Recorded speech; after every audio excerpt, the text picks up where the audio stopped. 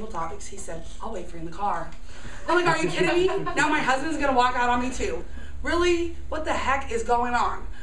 So I get there and we're all sitting down and all these people are coming in and I meet the guy Byron that I talked to and there's several guests. And then I find out the speaker that was supposed to go before me because I told him I, had, I couldn't go first.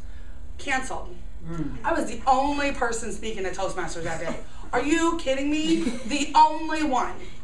I'm like, you know what? I just got to do this because you know what? Dr. Phil's not here to critique me.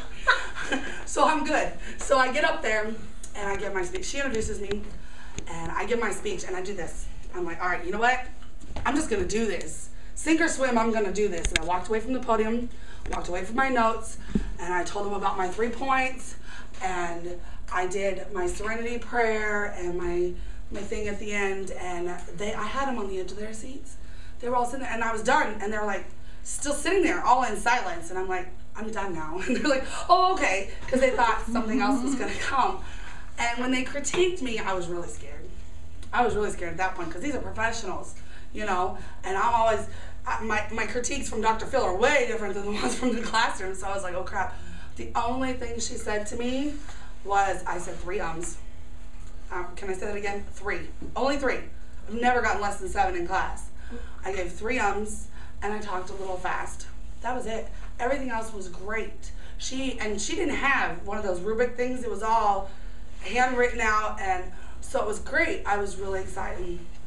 So what I took from this was a little bit of confidence. Um, I decided that I liked it. I'm going back. I told Roz where to go because they were great. It was really informal, which made it a little bit at ease for me. We didn't have to dress up. They did do the Madam Toastmaster and Sir, fellow Toastmasters and that thing, and that was kind of nice too. But I took some confidence, and I was relieved that it was over, hmm. and it was one less thing I had to do for my portfolio.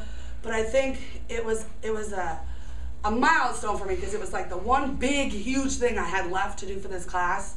So to me, it's like oh my gosh, I'm almost done. So that was my body.